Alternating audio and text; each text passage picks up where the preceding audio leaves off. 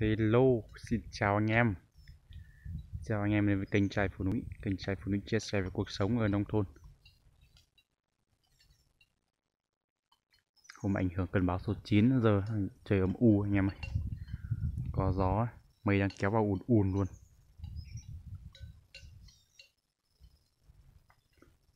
Hôm mình tiếp tục chăn bò anh em nhé.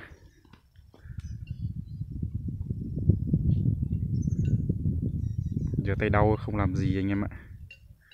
Có lẽ là bị bong gân. Anh em có thuốc gì đắp thì chia sẻ với trai phụ núi nhé. Giờ nắm tay không được anh em ạ.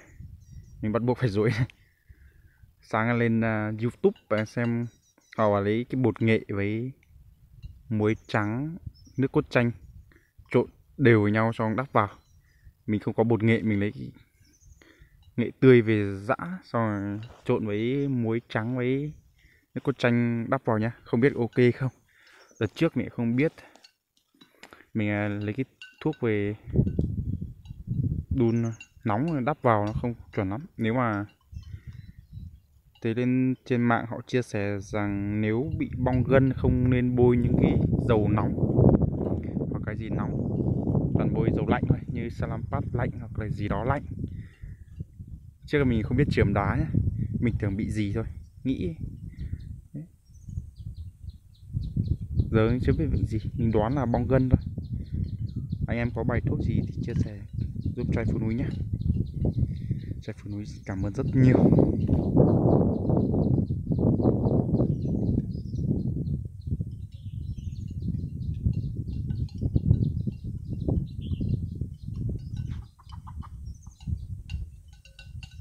Sẽ âm u gió vù vù nha anh em?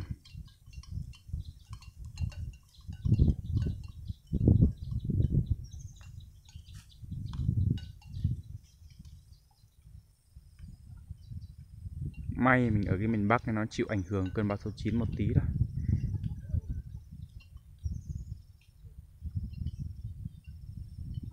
Nếu mà ở miền Trung thì ảnh hưởng lũ lụt các kiểu quá là nguy hiểm luôn.